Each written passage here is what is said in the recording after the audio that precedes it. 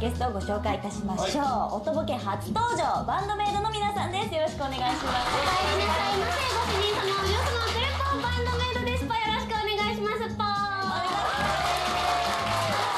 ぽ今宵のゲストはバンドメイドメイド喫茶で働いていた小バとミクが中心となりありそうでなかったメイドによるロックバンドを結成そのビジュアルに反してハードなロックサウンドを武器に見る人を魅了し Facebook に公開したスリルの MV は2週間で200万再生を記録。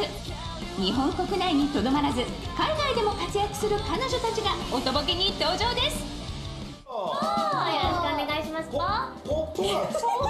コバトミクって言うんですけど小さいハトにミクなので小さいハトなんですぽああなるほどってつきますか？小バトっぽだけ？小バトだけっぽ。あとは人間なので小バトだけ鳩なんですぽそうなんだ。そうなんだ。あ人間と鳩のグループそうですかね。そうです。かちょ自己紹介じゃあちょっと皆さん、うん、ボーカル佐伯です。はいよろしくお願いします。佐伯さんまたね元気がそして。はいギターのかなみです。はいかなみさんよろしくお願いします。ドラムのあかねです。よろしくお願いしますベースのミサです。よろしくお願いします。人間さんの雰囲気はやっぱ鳩と違うんですよ。そうですよね。結構あの皆さん落ち着いてるんですけど、小松はこんな感じ。っぽ。結成のきっかけなんかお聞きしてもいいですか？もともと小鳩がメイド喫茶秋葉原とかで実際にメイドさんとして働いてたんです。ぽ。うん、その時からメイド服可愛いっぽって思ってて、あとかっこいい楽曲とかすごいかっこいい曲が好きだったので。面白いから両方合わせちゃえぽうと思って。でバンドメイドっていうバンドを作ろうって思ったんだ。っぽそれがきっかけだっぽ、えー。じゃあ一人でバンドができないのでメンバーを探そうと思って探したんだぽ。でその時一人で弾いてみた動画とかをあの YouTube とかにしてたかなみちゃんを偶然見つけて一緒にやってぽっていうふうにお誘いをしたら受けてくれたんですぽ。あの不思議な子だなとは思ったんですけど。最初はそうですよね。不思議だなって。ただあのメイド服を着るってことに対して全然抵抗とか私はなくて。い、可愛らしいあの格好とかっこいい音楽やりたいっていうコンセプトがすごく面白いと思いまして加入させていただくことになりました。お優しい。時あのシンガーソングライターをやっておりましたのでうん、でシンガーソングライター時代にドラムのサポートをやってくださってたあーちゃんにこういうバンドをやるんだけど一緒にやりませんかって声をかけさせていただきました。ではベースもいないってことで私が当時通ってた音楽の専門学校が一緒だったベースのミサを誘って楽器隊はこう横のつながりでどんどんどんどん。ミサさんどうですか？最初は。ああいいよみたいな。あ一晩ちょっと考えさせて。まあまあなんとなくのね鳩が誘っとんのかい。メイド服。メイド服を着るにもちょっと。抵抗ありましたね。やっぱり。でもねあのちょっとシックなメイド服ですよね、はい、そうそういう意味でねかっこいいですね。すごいかっこいい、まあ結成しましょうってなった時に曲はもうすでに何曲かストックがあったんです。けど、うん、ででも小鳩のけだとちょっとかっこよさにこうドスが効いた感じが足りないと思ってかっこよさがもっと欲しいっぽって思って、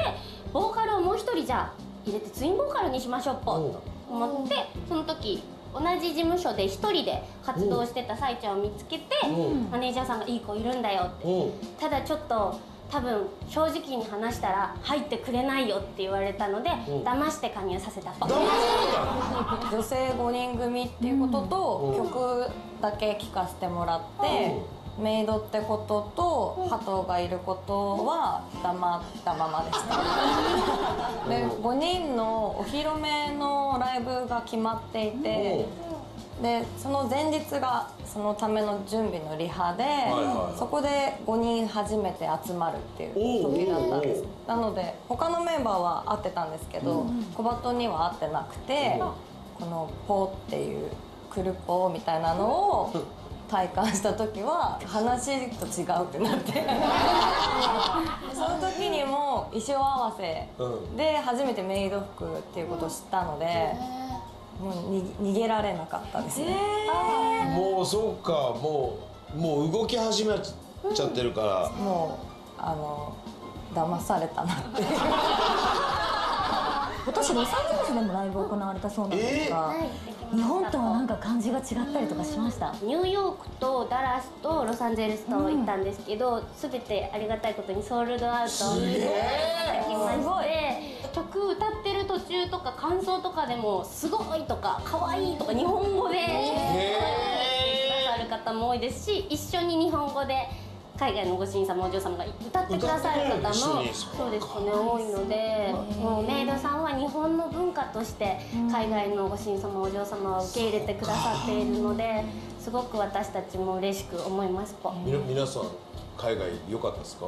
海外のご主人様お嬢様がその私たちの音楽を楽しんで聴いてくださってるのがすごく伝わったので音楽って世界共通なんだなっていうのがすごく嬉しかったです。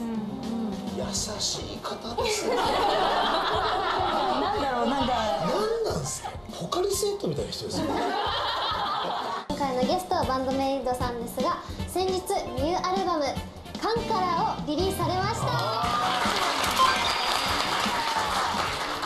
これは。すごいんですよすごい世界的なプロデューサーのトニー・ビスコンティさんから。熱烈オファーが一曲ぜひ一緒にプロデュース。えー、向こうから。そうです嬉しいことにご連絡をいただきでお会いはしたんですよお会いしました私とさいちゃん2人ボーカル2人は実際にニューヨークのトニーさんのスタジオに行ってレコーディングしてきましたぽささやさんどうでした？その向こあのトニーさんがすごく紳士的にこうフレンドリーに接してくれたので、君たちの音楽性を生かしたまま僕のエッセンスを加えてくれるだけでいいからっていう感じの方でとても優しくてすごくレコーディング中も楽しく。のもうやりやすかったとてもやりやすかったですね。こう結構緊張していったんですけどすごく紳士的な方で一緒にメロディーワークを考えてその場で。はい。もう親戚のおじいちゃんに会いに行ったぐらい本当にでもそれぐらいの感じで受け入れてくださってすごい親戚のおじいちゃんま あでももうすごくこうフレンドリーにしてくださって。じゃあ琴音ちゃんお願いします。それではニューアルバムから「みんなエンドレスストーリー」のミュージックビデオがあるそうなのでご覧いただきましょう。どうぞ。うわー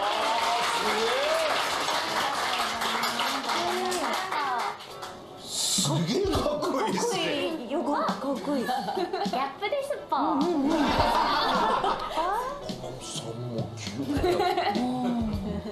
キュンキュンやってましたねギター持つとねオラオラになるとね。やっぱちょっと変わるんですか？演奏になるそうですねあのお給仕ライブの時だと何かポンって乗り移った感じになりますぽなのであのお給仕でお会いした方とかだと「えこういう性格なの?」みたいな「もっとオラオラ系かと思ったよ」って言われること普が多いです。段との差。いやだもってもう普段本当に優しい。みんな可愛いみんなでもなんかそうですそうでね。さんもやっぱ全然変わるやん。お酒を、お酒を。がステージドリンクなので。ウイスキーの。お給仕中はドリンクがウイスキーのストレートで飲んでます。ぽ今時いるんですかそういう人もう最近見ないですよ MC 中 MC 中にずっと飲んでますぽいやかっこいいわ、一気にミサさんのファンになりましたね今時いいんだハードコアのバンドですよそういう人ってもうこれちょっとライブ行ってみたい俺給仕に復